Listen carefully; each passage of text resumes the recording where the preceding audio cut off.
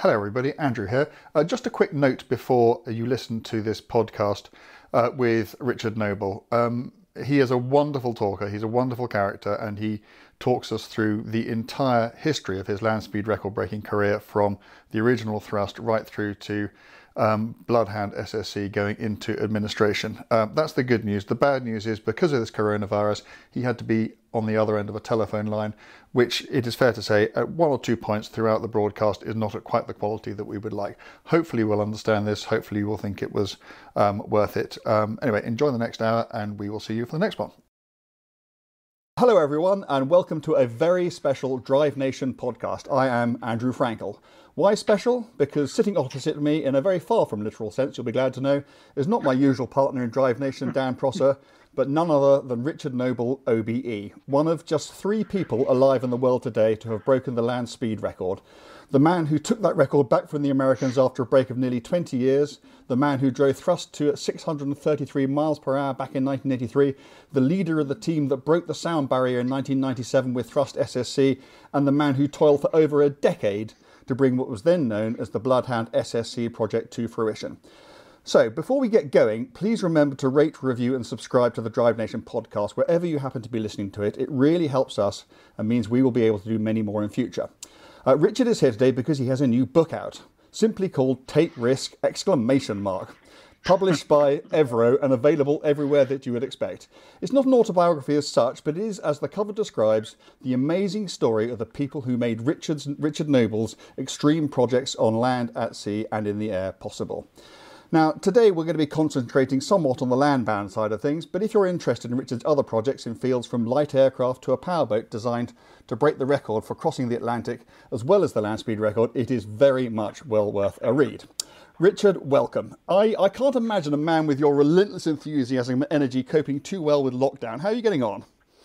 Uh, it's, it's a good time, Andrew. It's a really good time, actually. It's, uh, it's very peaceful, plenty of time to read and, um, and dream up new ideas, you know.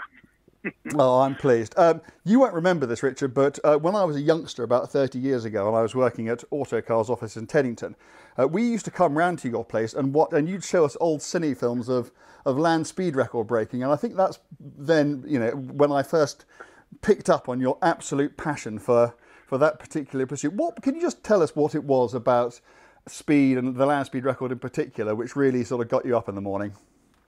Well, it's, it's a fantastic subject. I mean, it really is a fantastic subject because, of course, what you're doing is you're producing a, a vehicle which is going to go faster than any other vehicle in the world.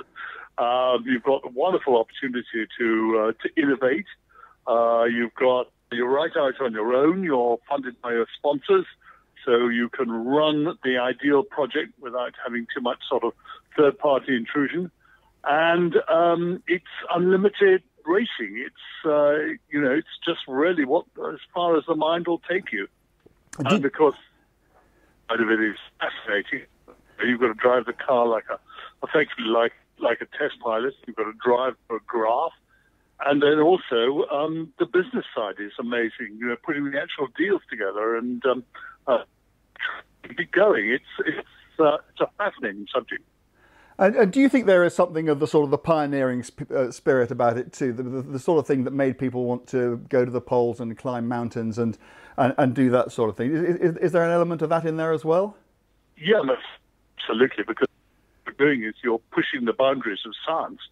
I mean, when we broke the sound barrier, I mean, we, we had terrible trouble from, from Britain. A number of people who said, you know, this was an expensive way of killing the driver, and uh, the negativity was was absolutely extraordinary.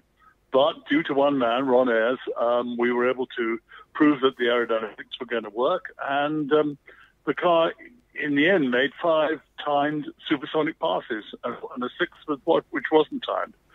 So uh, we did actually produce a re- reliable supersonic vehicle. Wow. So we, we will come on to that obviously um, later on. But for now, can we go right back to the beginning? I, I notice in your book um, your first land speed car, if, if, we can call it that, was called Thrust One. Uh, and, and, and, I'm interested in the one. Did you call it Thrust One at the time, or was it just called Thrust? I mean, if you called it Thrust One, did you already anticipate there being a Thrust Two? Oh yes, it's part of the program. I mean, basically, when I started the whole thing, um, we got to start from somewhere. Um, as a team, we had absolutely no uh, no experience, no engineering talent, nothing. So uh, it was really very simple. I got I was lucky enough truck chassis. Uh, we put it on four wheels and uh, we put a, a Derwent 8 jet engine on it, um, and big experience with it. And it was very very valuable. I mean, we did end up with a spec, but it was I learned so much from that. It was well worth doing. And of course, it was thrust one because the next would be thrust two. Thrust two is always going to be a, um, a demonstration vehicle, hence the. But of course, later on, we then discovered that thrust two is capable of getting the world land speed record, so we could shorten the process. Uh, I see. And, and, and can you just talk us through what happened um, in your in your in your final run in, in the original Thrust One? Oh yeah. Well, basically, we were at RAF Fairford we got real problems in trying to get uh, uh, an opportunity to run on a decent runway somewhere. And at long last, the civil servant said, yes, we could have one day at Fairford because they were going to um, they were going to resurface the runway the next day. So if there was an accident or anything, that would be taken care of. The runway damage would be taken care of. Yeah, and um, we got a good run down the runway at, uh, I suppose, 120 odd miles an hour, something like that uh, turned it around. We gave it a lot more power, and I don't know what happened, but something happened, and the car just just flipped up into the air. We had a triple airborne roll, and uh, it ended up upside down in the middle of the runway. Uh, and, and, and you without a mark on you? I was all right. Yes, I, I was, in some way I was quite pleased in a sort of perverse way, Andrew, Andrew because I, um, I I shut the engine down when I was upside down, so I was still feeling thinking logically. Um, and, and being upside down at 200 miles an hour in, in your first ever land speed car didn't in any way put you off? No, no, no. We did the, the, most sensible thing after an accident like that, which is to go to the pub, and then um, from the pub to the scrapyard, and we pushed off the remains of Thrust One for 175 quid, and that kept us solvent, and we moved on to Thrust Two. So, so can you just talk me through a little bit about how Thrust Two came into being? Because it, it occurred to me that you would have needed to convince you know, not just business people to give you the money, but also engineers to build you the car. What was it, do you think, that they saw in that project um, which, you know, gave it the credibility to make them want to come on board and, and, and, do this extraordinary thing? Well, there were two things. I mean, certainly the, uh, the, the, the, element that gave them the most credibility was John Ackroyd. Uh, John is an absolutely brilliant designer. And uh, John um, uh, decided this is what he really wants to do.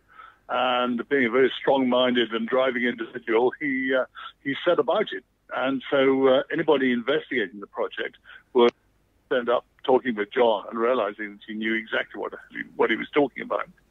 And of course, the other thing was too that the keep the project moving ahead all the time. So people realized that it was beginning to create mass small chance that we will, the end of it, and hopefully at the end of it, a world record. And, and, and, why did you decide to go with a jet? I mean, the land speed record that you were um, trying to break was that set by Gary Gabelich uh, in a rocket car in, in 1970, but you decided not to do that. You decided to go with a sort of more traditional means of, uh, of breaking the land speed record. Uh, Andrew, it was a better means, frankly. The problem with the jets, with the rockets, is that you uh, end up with a very, very heavy vehicle, and it, of course, consumes its fuel at a hell of a rate. And um, if you're not careful and you've got the figures wrong, you will end up at high speed with a very lightweight vehicle, which is which is just downright dangerous. Um, it's a very high risk. The one thing about the jet cars, of course, is that uh, you've got a big thumping heavy jet engine in the middle of it, and that gives you the weight. And that weight, of course, is still there when the car is going fast. Uh, the second thing was we knew, we knew that we got to run the car at air shows and also on one or two um, racetracks, which was really interesting um, to demonstrate it. We've got to build up a huge public following for it. You can't do that with a rocket-powered vehicle. Ah, okay, okay. So let us spool forward. It's it's 1981, um, and you arrive at Bonneville. Um, what was the fastest you'd, you'd driven a car up until that point? Uh, let's just think. Um, yes, I'd driven thrust 200 odd miles an hour. So, um, and I'd driven a car probably about 120, something like that. Yeah. But um, we've done a lot of dem- demonstration work on UK runways during 1980, and this really paid off uh, because it taught us how to run the car, it taught us how to look after the car, how to drive the car, how to maintain it, and it gave us uh, tremendous sort of confidence.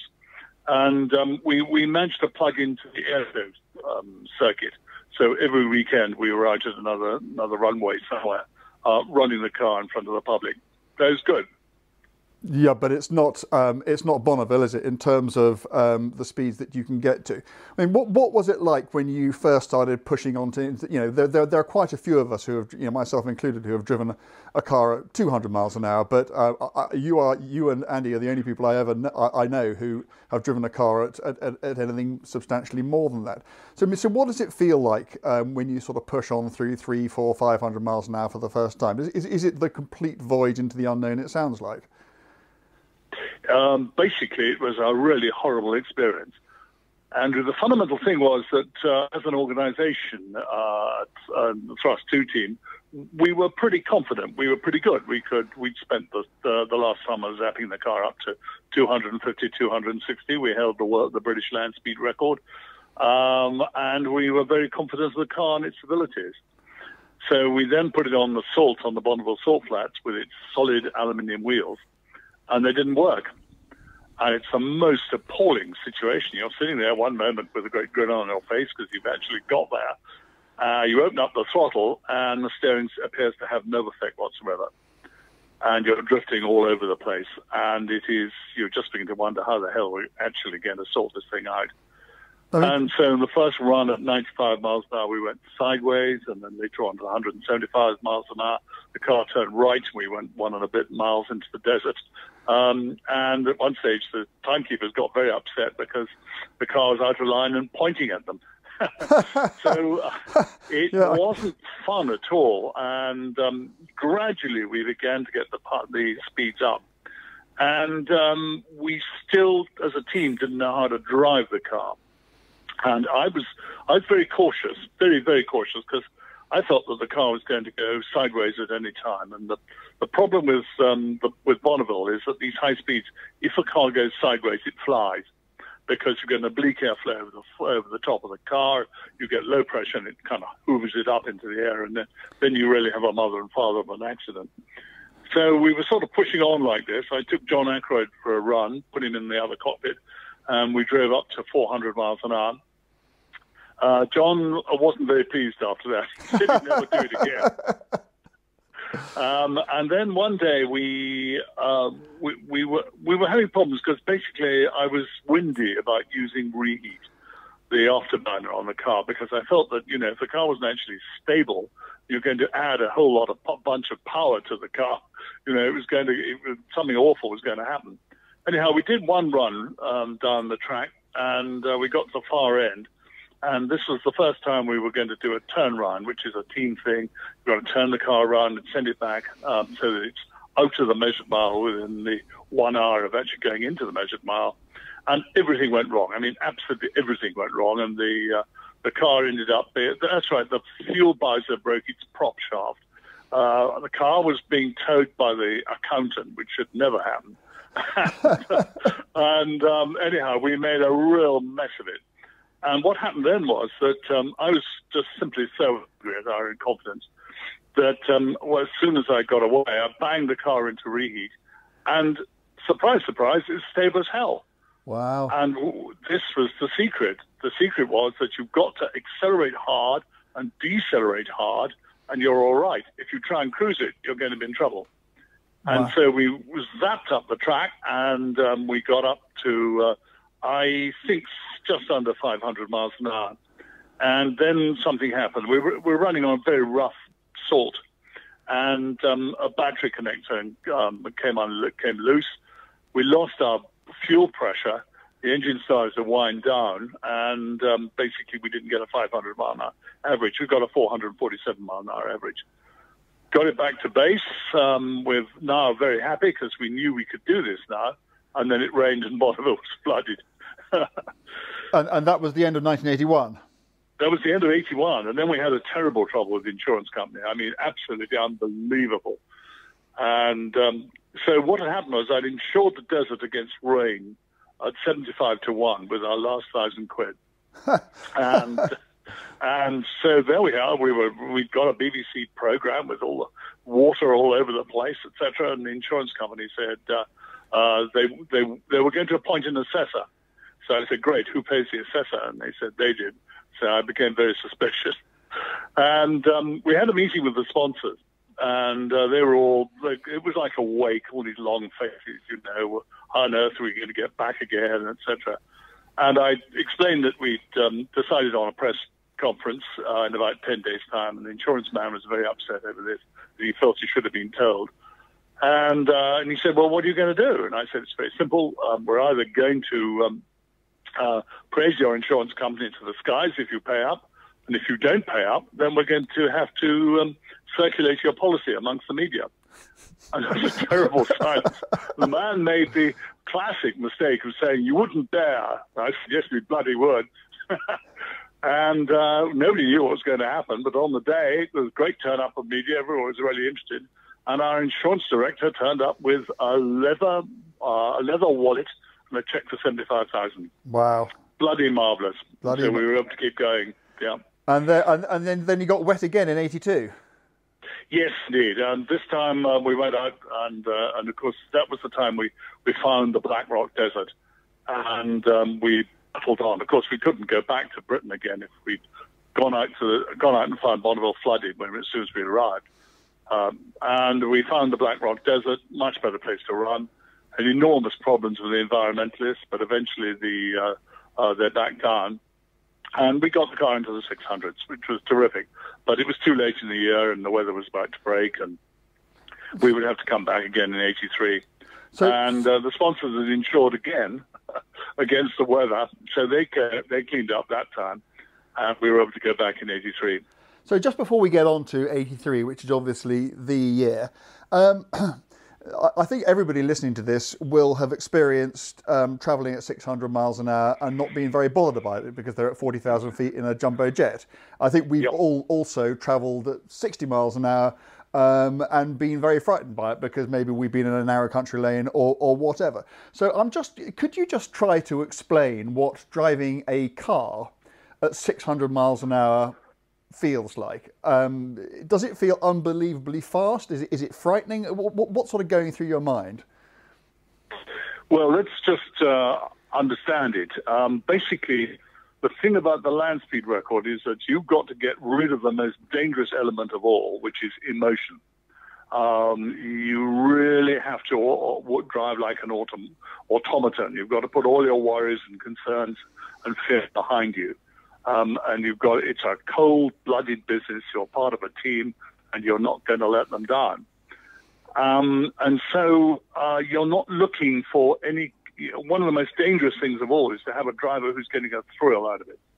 That is really dangerous because uh, the driver will uh, continue to um, drive faster and faster and, uh, and get more thrill. He gets the drag out of it, and of course, then uh, you know you will have an accident sooner or later, and that's that's really out. And and you and you were able to do that. You were able to be um, process driven and dispassionate about the business of actually being in the oh, car. absolutely, absolutely. Because really, at the middle range speeds, um, you know, you, you're like a taxi driver. You're going out first thing in the morning. You're going to drive at 600 miles an hour about lunchtime, and uh, you're going to finish at the end of the day. And uh, we managed to get the car so reliable and so safe, uh, it became boring.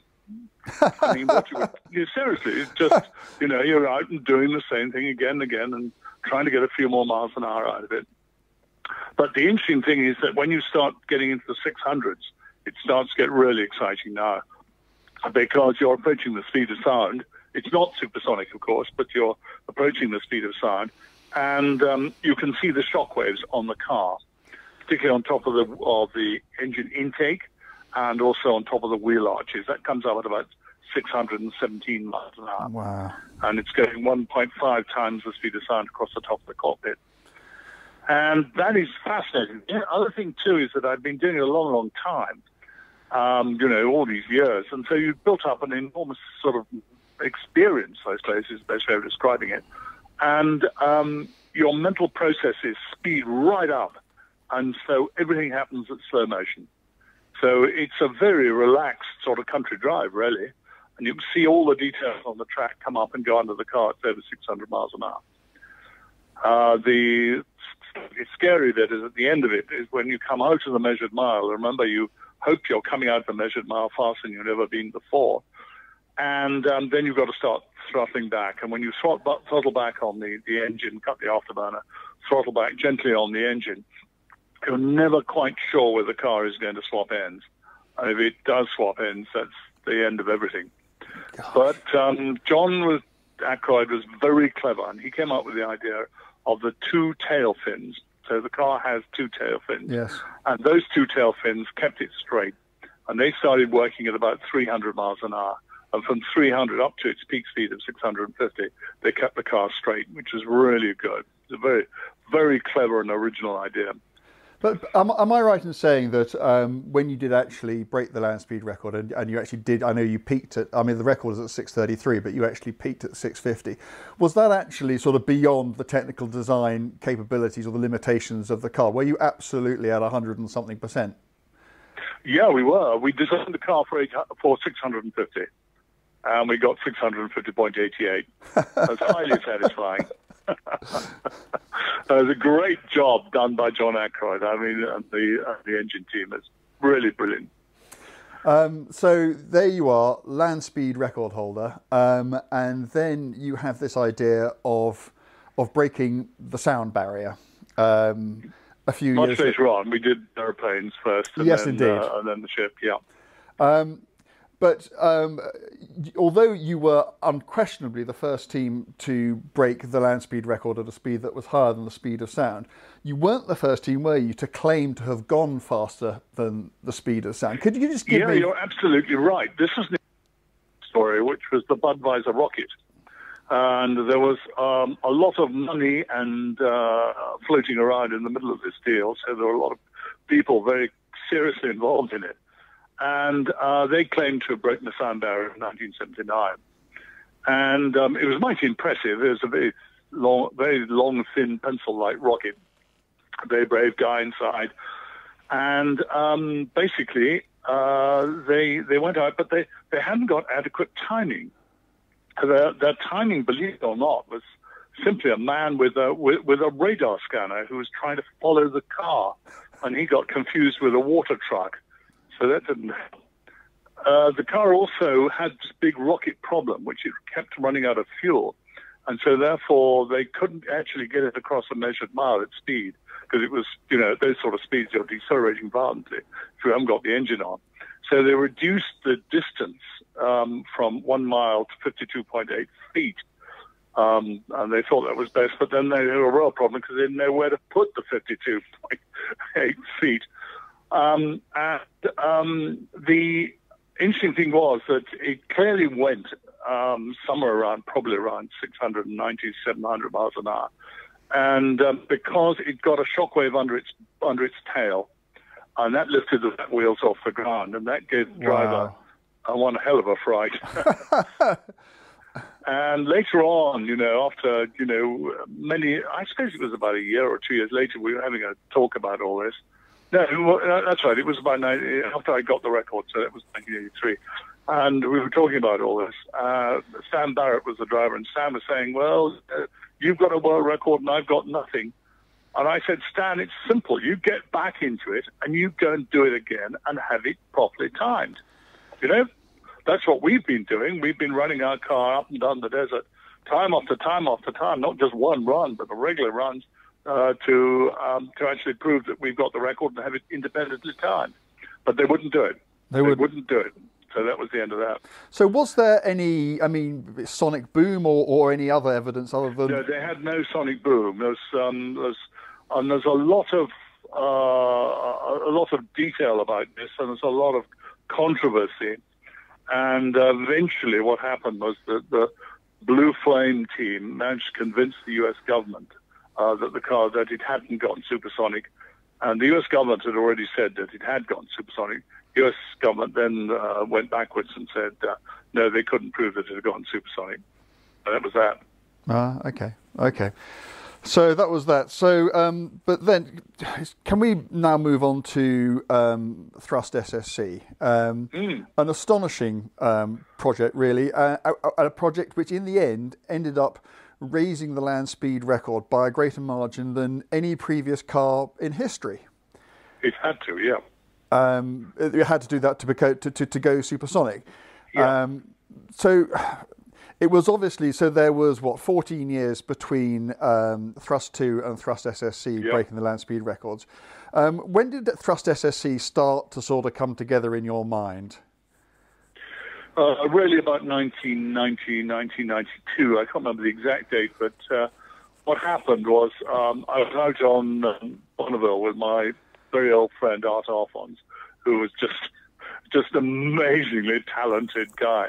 And Art decided what he was going to do. That the future of land speed records was going to be small cars, like um, uh, uh, really like a cruise missiles. And he built number 27, and he was going out to run that. So we all went out to run it, but um, it didn't work out too well for him, and he, he kind of stopped at that point. And Craig Breedlove was there, and the three of us were having a having a talk. And Craig said, "I want you to know that um, I've decided I'm going to continue. I'm building a new car. I've, I'm committed. I bought the engines." And um, so I said, well, okay, Craig, you were first over 400, 500, and 600. So it's got to be 700 and supersonic, to which he said, yes, it was. Wow. So uh, then I came back to Britain and remember that uh, basically that um, we had no team, no resource, nothing. And uh, all sorts of people started ringing me up and they said, uh, there's something big going on, Richard, um, but we've all signed non-disclosure agreements, and so therefore we can't tell you what it is. But you better look out. You know, there's something going on. And I thought, well, that's interesting, but um, I don't know. I was very busy doing whatever I was doing, and uh, I never really paid too much attention to it. And then the um, McLaren Formula One team rang up and said uh, they got an they got a show with some sponsors, and they'd like to um, have some footage of Thrust Two. So uh, I, I, immediately realized that this is probably what it was. So I said, yes, of course, I'll send you a tape. But I didn't. And then they rang up about a week later and they said it hadn't arrived. And I said, oh dear, the post is terrible these days. so I'll send you another one. And I didn't. And they rang up another week later and they were really angry at this point. so that's the point we knew that they were going to have a go and they were producing um, a car called the Maverick and um, so um, this was great. It was going to be a three horse race, which was terrific because this is what we all need. You know, we all need a good old fight. And, um, and, so, and Richard, so were the Australians involved at that stage as well? They were coming along up the back, um, up, up, up, uh, really up, up, They were coming along. They, um, they, in the meantime, they produced a thrust two like car and they got up to 600 odd miles an hour, which was great. It was a great achievement. But um, they hadn't managed to get any records at that stage. Uh, and of course, they then moved on to the rocket program, uh, which is what they're involved in at the moment. And um, with the luck, hopefully it'll be successful. Yeah, so so so back to the three horse race, but in the end, only one of the horses ended up turning up um, in the desert. Yeah, well, that's it. Um, basically, the uh, the um, the McLaren people gave up, and uh, so it was a real shame because um, you know there's nothing like a bit of competition. Um, they sort of gave up, um, and then Breedlove basically we then discovered with Breedlove is that there wasn't a computer in the place. Um, he was designing the car as he thought it should be. So in other words, he was doing exactly what he'd been so successful um, uh, before at uh, in Bonneville with the land speed record designing his own cars and doing his own calcs. In this case, we were lucky enough to have Ron Ayers, and Ron basically uh, took us uh, uh, took us through all this. We did computational flow dynamics. Uh, then that had to be proven. We proved it with rocket test with rocket testing, which was highly spectacular.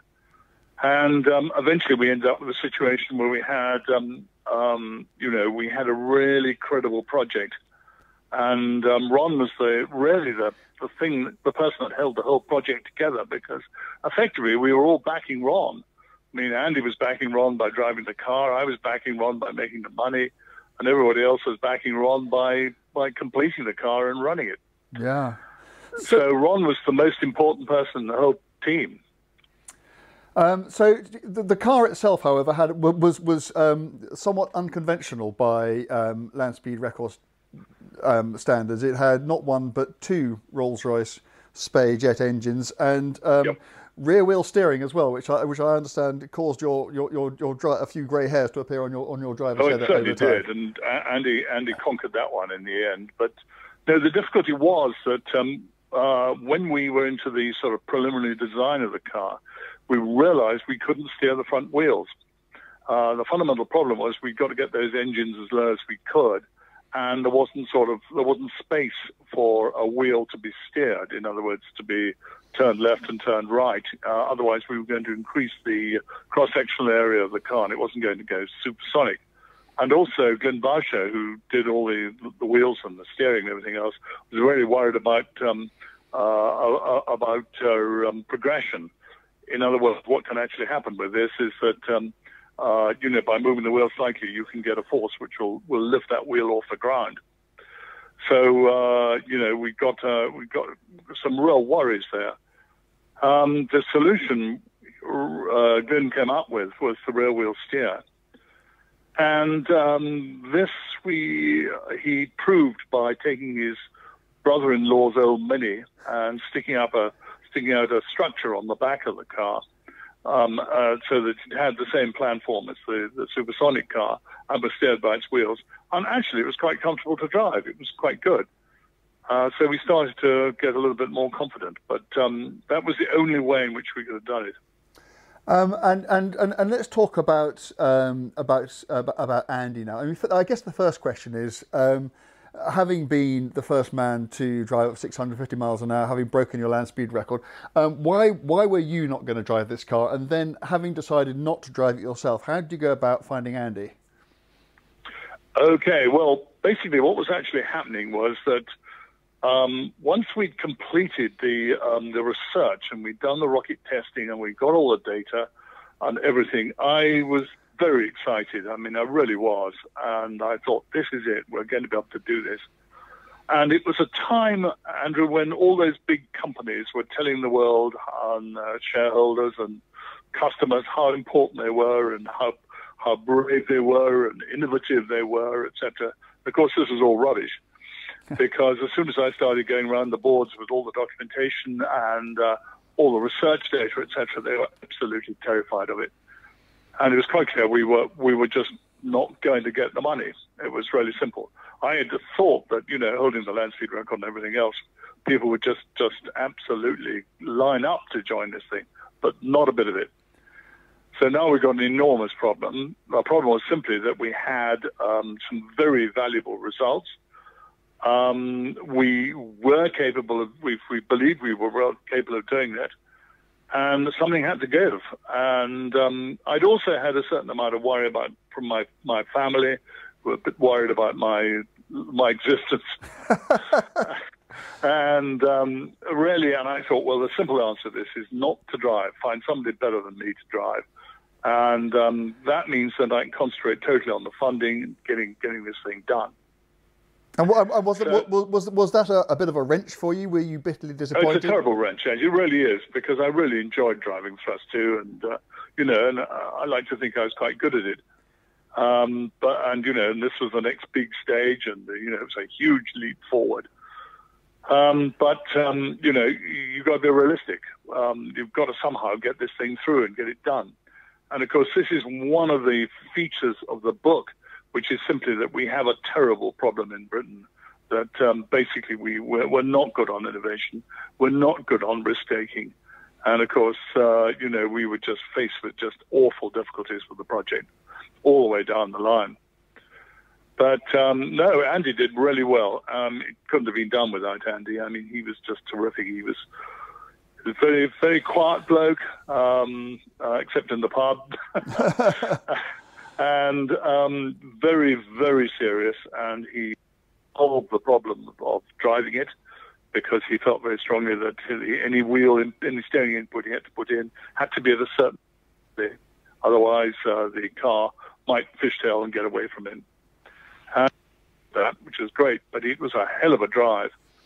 And one day I was flying a plane down the um, down the course, and I did, uh, you know, and I was I don't know, I was flying like 150 miles an hour or something, and the and you suddenly realise that the the tracks of, of thrust SSC were just absolutely zigzag all up. He it all right the way up. He seemed quite happy once it went supersonic. He said it was a bit of a pussycat once it was supersonic, but subsonic was a bit of a handful. Yes, I, mean, I, I, should say to people listening to this, if you if you haven't been onto YouTube and watched the in car of Andy putting in a 90 degree steering angle at over 700 miles an hour, um, it, it, it, you know talk about calm under pressure. But um, yeah. you know, so so Andy Andy Green. I mean, obviously RAF um, test pilot. Um, I've, I've, been lucky enough to meet him a few times. I mean, he is he really as cool in private as he appears in public? Because I mean, he's just in an, on, on another world compared to most people you meet. He, he, he's a very he's a very amazing guy, Andy. First class honours in mathematics, um, and um, and when he decides he's going to do something, he stays with it. So he stayed with Bloodhound all the way through the the the, uh, the difficulties, terrible time of trying to put it all together. Um, and um, his only comment with Thrust SSC was that after we got the record, he said he, he thought we'd driven the car twice too often. that is amazing. And, and, and the car ran pretty much trouble free from, from what I recall. I mean, I know he had some fairly hairy no, runs. It didn't. No, it didn't. I mean, you know, with a with a car as complex as that, you're always running against problems. Uh, the great fun was the Americans, because when we arrived there, um, when the Americans took a look at the car, it was known as the binoculars for obvious reasons. and uh, um, yeah, and the rear wheel steering, of course, gave us a lot of problems, particularly in Jordan. Until and also the wheel design, so there was a lot of work that had to be done on that. We had problems with the active ride um, in the desert, and it was it was uh, Jerry Bliss's active ride, which actually. Uh, enabled us to get the rock, get the Sonic record because the back of the car was gradually raised as the Mach number increased. increased. It kept the car on the ground. So with these cars, of course, because the downforces are um, proportional to the square of the speed, and even more so when they're supersonic, um, you've got to design these cars so they are skimmers. So they skim across the surface, and so the loading on the wheels is the same when it's stationary as when it's supersonic. Gosh. Hello, Richard. Can you hear me? Yeah, I can hear you. oh, you. sorry. Yeah. yeah so, you, so, so anybody listening to this will by now have long realised we're actually at different ends of a not terribly good telephone line, but we will right. we, we, we, we, will persevere. Um, so, what was that moment like? I mean, you would presumably have heard it before you saw it when uh, you heard that boom and you realised that for the first time in history, a a land bound car with with a, with a man inside it had broken the speed of sound. There's something funny about sonic booms that we learned that they're, not sort of really sort of predictable. So the first people to hear the sonic bang um, on one of the earlier test runs was the Americans. So we had a great cluster of, of several hundred Americans who lived in their camper trucks up on the hills, um, basically watching all this and and uh, monitoring all the, the, the radio transmissions. And they heard the bangs, but we didn't. And then eventually, when we started getting um, truly supersonic, um, then of course we were getting these enormous bangs. And to give an idea, the bangs could be heard 40 miles away. Wow. And they were rocking houses uh, and buildings in the village of Gerlach, which was 15 miles away. and, um, you know, in the school, basically, it, it rocked the school, and the covers on the sprinklers fell off in the classrooms. So this is proper motor racing, Andrew. but in but in the car, presumably the moment you actually go through the sound barrier, do, do, does the, do things get very sort of calm then, or is, is there any sensation, or is it just an, another number on the dial? There's no sensation. It's just another, another number on the dial. It's like a boat going down a canal, really, and you know, so you've got a wave, um, um, a V-shaped wave at the front and a V-shaped wave at the back. And basically, when it comes past you, you get this high pressure bang from the front wave, and another one from the from the um, the, the, trailing wave. So you get the typical bang bang, and what the Americans always call bar boom. Uh, okay, wow.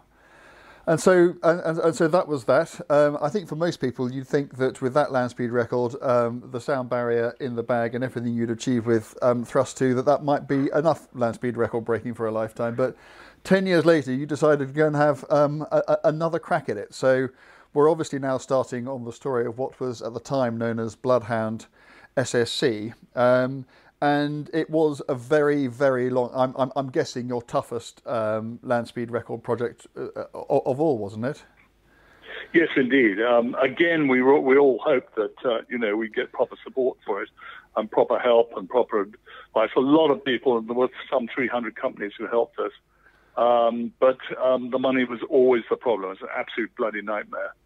And um, the end of it, uh, one of the team members, Connor, said, uh, "You know, Richard, do you realise you've been at war for 11 years?"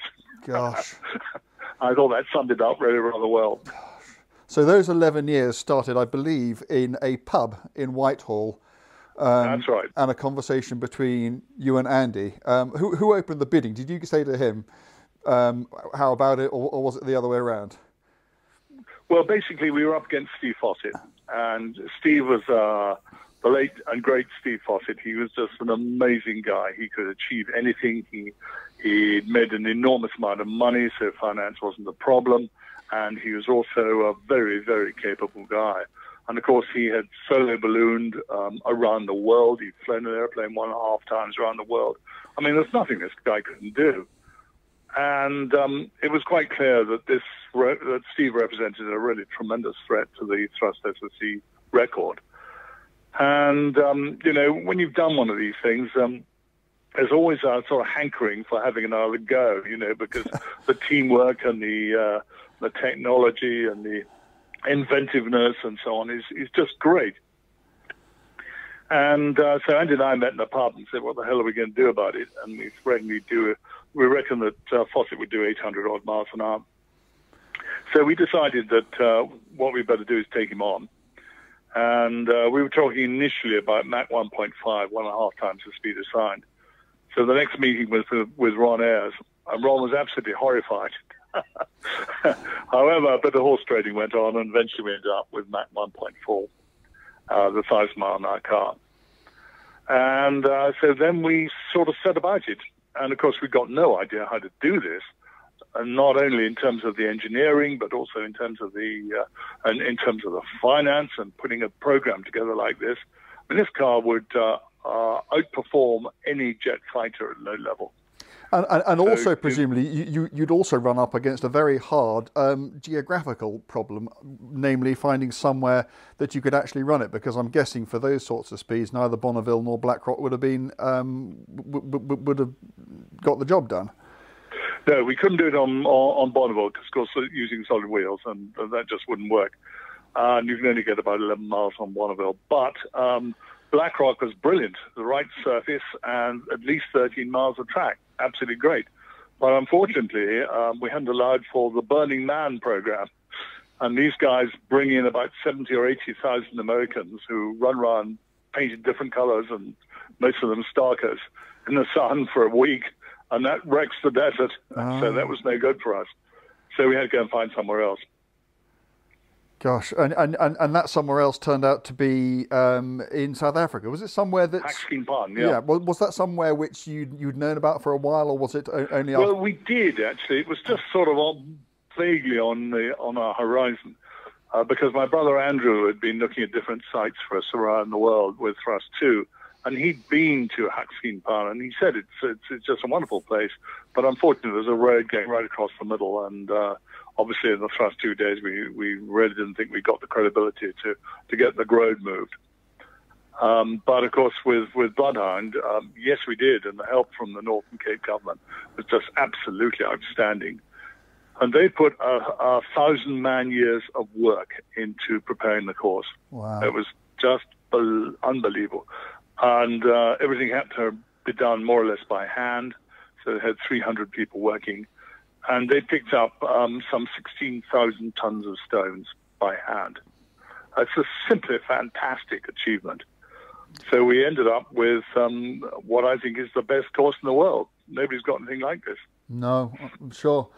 But I mean, but for you, Richard, I mean, um, you um, you you left the project after the car had run down at at Newquay. Um, it had been, as you say, 11 years of, of war, and I'm just wondering what that feeling was like for you. Was it was it a bit of disappointment, or, or, or had you sort of ha- had your fill of it by then?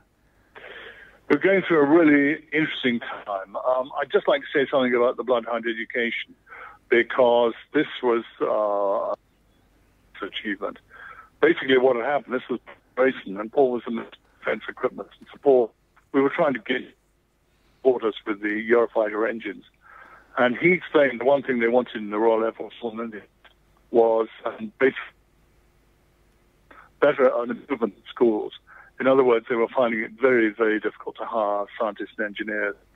And uh, Paul remembered that, uh, that basically British projects like, for instance, the Concorde, the Vulcan, the Lightning, TSR-2, all these really inspired the kids big, big time. And that resulted in a large supply of scientists and engineers. So his idea was that we should um, um, we should run the project through the schools, and um, I figured that there was some sort of a deal to be had there, and so um, we set up the education team, which became enormous, and we were um, Bloodhound was going through um, about 129,000 school uh, kid kids engagements per annum. Wow. Absolutely enormous. Yeah very, very powerful. And the kids, of course, who today just live on their screens, they don't have reality. And I like to think that anything on screen is being faked anyhow. Um, you know, when, when we saw them at Newquay, we had, um, I don't know, we had 3,000 kids there, I think it was. And um, when they saw the car running, they were just absolutely mind blown. It was terrific. It was really working well. No, the problem really lay with the money. The money was always going to be more difficult than the rest of the project. And, and, and, um, and, was that because um, did you have, have, people saying to you, "Well, you've already broken the sound barrier. You know, you're breaking a record that you already got." I mean, presumably, if um, Fossett had gone and broken your record, it would have been rather easier to find the funds. I don't know about that, Andrew, but certainly it would seem to, to have been yes, yeah. Uh, and we decided that what we would do is we would carry on because we got a really brilliant project and uh, we needed to do that and um, the money was very, very difficult. And we, some of these big deals took five and six years to do. That gives you some sort of idea of the problems and the hassles you've got. And all the time you're trying to maintain the process, you're trying to maintain the cash flow. And there were uh, awful times when, um, uh, you know, we simply had no money. But the team's teamwork was fantastic, and people just kept going um, because you know we knew we could do it. We knew this thing was really valuable, and of course it was going to be of huge value to the country in due course once um, once we completed. And um, but our fundamental weakness was that we couldn't bring the big deals in in batches of two. That's what we really wanted to do, so that uh, sponsor A comes on board and makes its payment, first payment. Sponsor B comes on board and makes its first payment sponsor A then makes its second payment. Yeah. That's what people would ideally like to do, but yes. we just could not do that, however hard we tried. And um, then it really did look as if we were going to get for the record in 2017. Uh, it was a really exciting time. Um, what happened in 2016 is we put the car on display.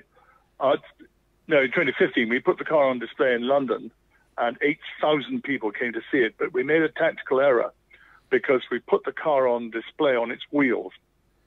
First time it had been seen on its wheels. And that, of course, the message to everybody is the next time, the next um, stage of this project is the car's going to run. Yeah. And that represented danger and represented risk. Up until that point, the, the project had been developing around about 1.5 billion pounds worth of publicity um, with virtually no risk because all the car was and is during the early stage of the project was a pile of parts that wasn't going anywhere. Yeah. But now we were moving to risk area. And um, as soon as we put the car on display like that, all the sponsorship, everything just collapsed. So I went to George Osborne, who was then the Chancellor, and said, George, look, we've got a real problem here. Um, we need help because I can't keep the cash flow up. I can't keep it going. And he set up an enormous program with uh, the government, with BEIS, or BIS or BEIS, and um, they got um, and he said he instructed uh, establish the value for Britain. And uh, at the same time, although we know at the time, uh, a splendid character, Li Shufu, who was the uh, chief executive, or sorry, the chairman of the Geely Car Company, um, had opened up the London uh, Electric Vehicle Company in um, in Coventry with um, David Cameron and, and Osborne, and he had um, off. Uh, sorry, the politicians had uh, gone back to London, and he went to the car museum, uh, Thrust 2 and thrust sea, and he decided then and there that's what he wanted to do. So we had a huge battle to try and uh, try and get that the Geely Car Company deal through, and we did it. It was a terrific achievement. It really was, and I love working with the Chinese. So, it was such fun. It was so it was so demanding. It was so intellectual. It was just brilliant. Uh, then the government then um, came forward with its deal. That was a letter from Jo Johnson with an offer, which was great. And we went to, and uh, the Chinese then made their first payment, which is terrific. And then we had the uh, the meeting with the um, the BEIS people, and we couldn't interpret the meeting. We'd met all their conditions. We couldn't make, interpret their meeting, and, it, and after after a bit, it became quite clear that they were just not going to pay. And that, of course, wrecked our cash flow, and um, and it also, um, you know, the Chinese were very honourable about the whole thing because, of course, they'd now lost money on it, but they weren't going to spend any more. And I suppose they probably thought that, um, you know, if uh, um, the British government isn't going to support this thing, then why should the Chinese? So, you know, and that's totally understandable position. Yes. So gradually, we then ran the car, and we got the car running, which was a new key, and then, um, then basically, um, we, it took 18 months to turn the government around. And the Secretary of State then, um, uh, Greg Clark, then basically um, corrected the, the BEIS mistake and made it legal. But he wasn't going to give us, give us any money unless we find even more money. And by that time, of course, uh, Brexit was was uh, taking, taking up all the money everywhere and there was just no more money. So that was it. We just had to put it into administration. It was over. Gosh, gosh, and and how I mean, did, how did that feel to you? Was it? It must have been a crushing disappointment. Yeah. Um, to tell the truth, um, we were all absolutely exhausted. I mean, I was didn't realise how ill I was. I was absolutely shattered. And, um, you know, because you're fighting every day. It's exactly as Connor said. You're fighting a war every day, battle after battle after problem after problem. And, um, uh, and it was taking a, a tremendous toll on us, really. And so when Ian Warhurst, who bought uh, the project, decided, uh, uh, he and I had our first meeting, and he said he didn't want me on the project. So I said there was that was absolutely fine because I just needed a rest. Uh, and um, it took me about three months to recover. Gosh. And and now that they have, we're, we're going to have to wrap this up shortly because I'm taking up a, yeah. lot, a lot of your time. But but but now that they have been down there, and now that they've got above 600 miles an hour on the jet alone without using the rocket, I mean, obviously this um, this awful virus isn't isn't helping anybody's cash flow at the moment. But what do you think are, are their chances of actually getting back there um, next year or the year after? And um, and well, at least breaking the land speed record. It's Britain and money. That's what it's all about. Britain and money. Basically, we've got a good car there. There's a lot of work that's gone into it. Everybody's uh, very conf- confident with it. Um, it's just a matter now of um, getting the committing to on to the rocket motor with Nammo, uh, our um, Norwegian rocket manufacturer. They're all very excited about it and very very committed. Um, they're very keen to do it um, but uh, they need paying, and um, and basically um, Ian's got to raise the money. That's what's got to happen. Yeah. Um, and then um, and then it should be possible. Of course, as you always know, with a land speed record project, you're doing something that's never been done before. Um, you, you know, and there may be all sorts of things that make make this thing absolutely impossible, but we don't know of them now. Yeah. Yes. Well, Richard, thank you so much. Uh, I, th- I, think probably the final question is: um, uh, you, you, don't strike me as being a man who's very good at sitting still. So, um, so, so, what? so, so, so, what next? Any other little projects on the go at the moment? Well, we're looking at the water speed record at the moment. Um, it's just a very, very early days. Wow. Um, what happened was that um, in 1952, I saw John Cobb's jet boat Crusader on Loch Ness, um, and that really inspired all this. And um, unfortunately, a few days later, it broke up and killed Cobb. Um, and Reed Railton, the great designer, um, had, uh, um, was so upset over this that he went back to California and he designed another boat. But, um, he couldn't get it built because by that time there was only one source of money, and then had gone to Donald Campbell. So Campbell was pushing on with the, the, the very, very successful K7 boat. Yes. And um, Railton had come up with something which was completely and utterly different. And I was very keen to uh, to see what it was like and what it was going. And um, basically, um, we managed to get hold of uh, of one of Railton's models. And from his model, um, we've built um, a couple of jet-powered models, and we're going to see if it works. But we're all locked down at the moment, so we can't do anything. Gosh, well, uh, Richard, I wish you all the very best, but best of luck with, with that and everything else you, you, you, you may go on to do. Um, thank you so much for spending your time to talk to Drive Nation. People listening to this, if you've enjoyed this podcast, please remember to rate, review, and subscribe uh, wherever you can. It'll help us to do some more. But in the meantime, Richard Noble, OBE, thank you so much for your time. It really has been a fascinating hour, uh, and I couldn't be more grateful to you. Thank you so much. The book. Yeah, absolutely. Buy the book. Thank you, Richard. Thank you. All Bye. the best. Bye bye.